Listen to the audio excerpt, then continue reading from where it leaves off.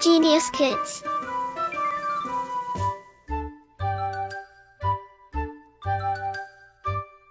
Cultivating love for learning.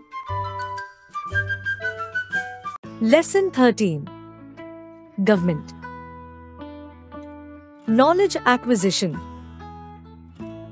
Why do we need a government? We all live in very large country. India is a group of several states and union territories and that is why it is known as the Indian Union. It is like a very huge family but with family members from different religions, castes, languages, etc living in different parts of the house. India has common borders with many neighboring countries, big and small. The people of our country engage themselves in various types of commercial activities like agriculture, manufacturing, trade, and commerce. Every part of the country is linked together by transport and communication network through railways, roadways, airways, and communication connections. Farmers grow food for us, while the army defends our borders from the enemies.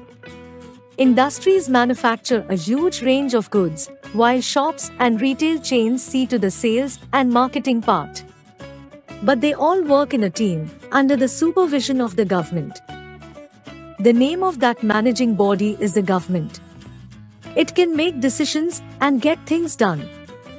Each citizen cannot individually participate in decision making for such larger areas as the country's defense, economic measures, or education policy.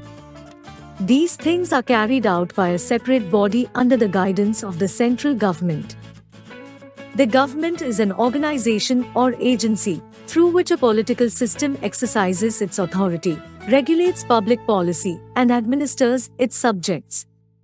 In a modern society, government plays a crucial role in every field of life. Government has to oversee many activities, such as the welfare of citizens of all kinds, running postal and railway services, minting coins, maintaining law and order, rushing assistance to people in case of a natural disaster, etc.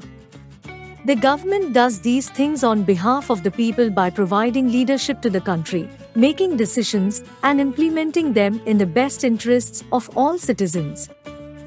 Levels of government India is a very vast country. It has 28 states and 8 union territories.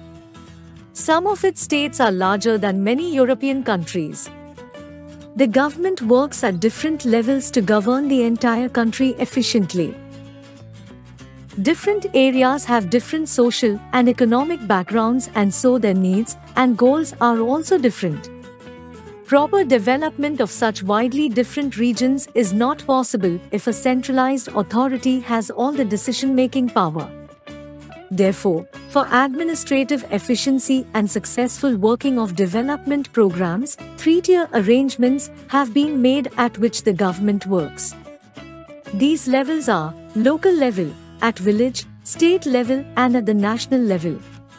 The local level covers villages and towns, the state level covers an entire state that is UP, West Bengal, Andhra Pradesh etc. and the national level relates to the entire country. Laws and the government. The government performs various functions. It makes laws and ensures that they are followed. The central government represents the whole country. It is through its government that a state makes laws and enforces these laws. Therefore, citizens of a country have to follow the laws made by the government. The government always makes law keeping the best interest of the people in view. For instance, if you want to drive a vehicle, you need a driving license. It is the law Laws are made by the government and executed by their different agencies. The police system, which sees to it that people are driving with a valid license, is a government agency. Government is organized into many public offices, all of which have many legal powers. It is through these various agencies that the government discharge its functions. So, when a traffic inspector checks if a driver is carrying a valid license, it is a legal procedure. In the absence of laws, legal power, the government cannot enforce its laws. The judiciary is an important organ of the government. Its main duty is to defend the laws made by the government. If people or public officers violate a law, this can be punished by the judiciary. For example, if there is any discrimination in employment on the basis of caste, religion, sex, etc., the victim can take the matter to court for justice.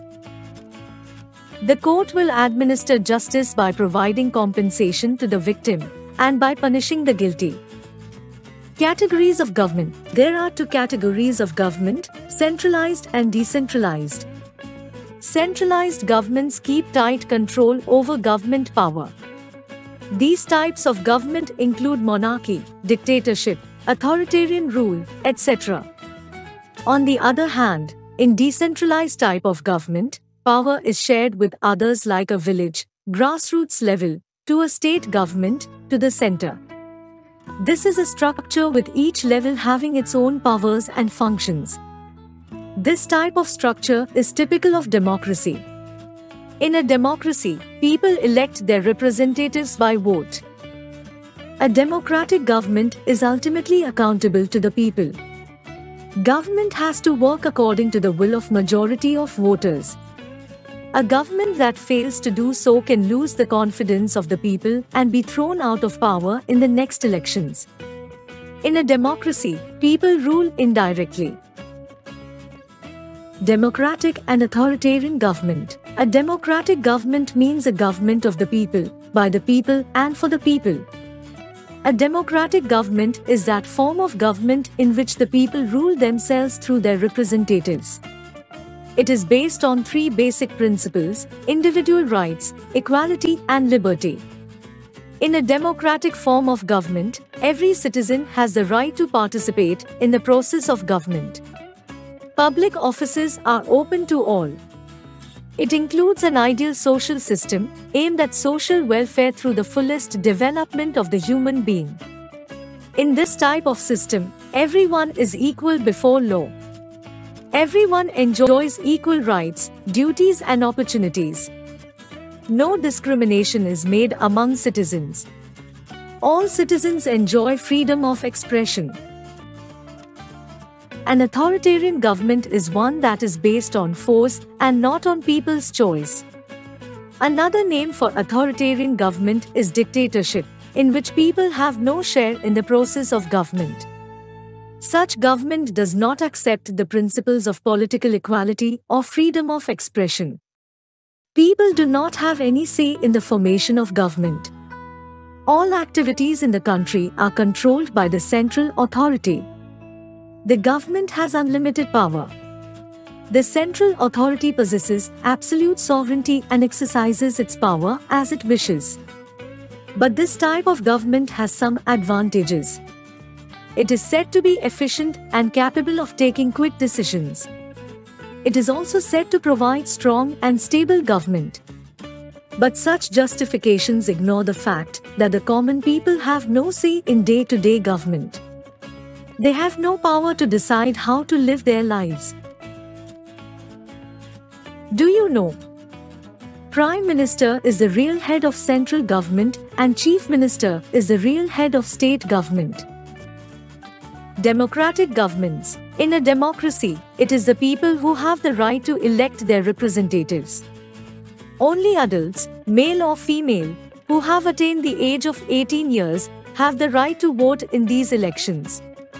If the voters elect able persons as their representatives, the government functions well.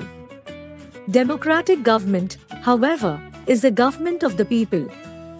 If the voters select good representatives, the government will function well.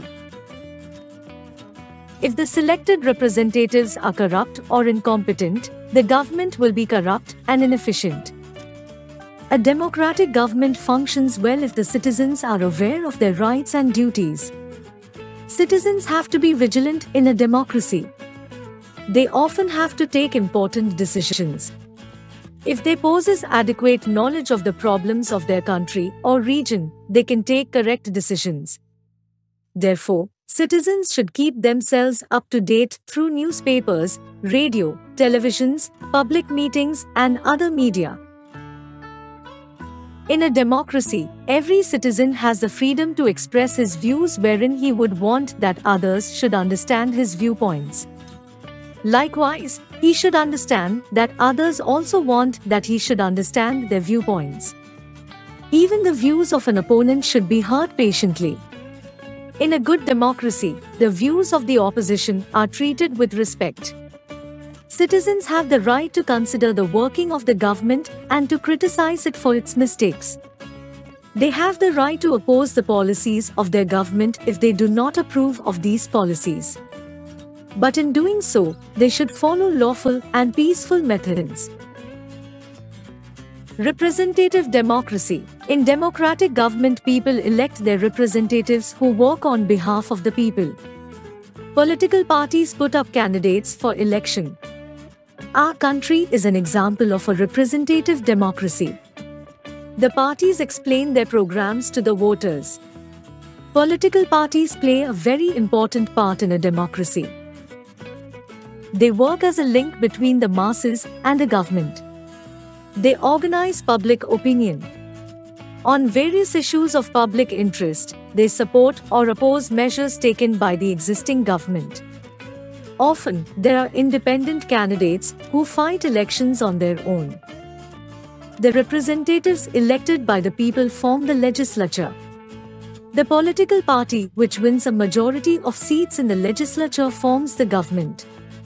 Thus, representative democracy in one sense means rule of the majority. Representatives belonging to other political parties, being in the minority, form the opposition in the legislature. Sometimes, when no single political party is in the majority, one or more of the contesting political parties join hands to form the government. This alliance is called a coalition government. There can also be situation where the party getting the largest number of seats, though not majority of seats, forms the government with the support of other political parties and independent members. Majority rule does not mean ignoring the views of minority. In India, before independence, a small minority was allowed to vote. Several national leaders condemned this practice and demanded that every adult should have equal right to vote. This is the basic principle of a representative democracy. It is known as universal adult franchise. A democracy is successful only when all the citizens have the right to vote. Keywords Government, an organization or agency through which a political system exercises its authority, regulates public policy, and administers its subjects. Democracy, a form of government in which the ultimate power rests with citizens. Dictatorship, a form of government where absolute authority rests with one individual. Monarchy, the form of government in which the ultimate authority rests with the king or the queen. Universal adult, a democratic process according to which every adult citizen of the country has. Franchise, the right to vote. Let's revise. Continuous review. Society is an organization in which many people live together. In India, there is a democratic form of government. India has common borders with many neighboring countries. In a democracy, people elect their representatives by vote. Democracy has three basic principles equality, liberty, and individual rights. An authoritarian government is one which is one based on force and not on people's choice. The basic principle of a representative democracy is known as universal adult franchise. Like, share, and subscribe.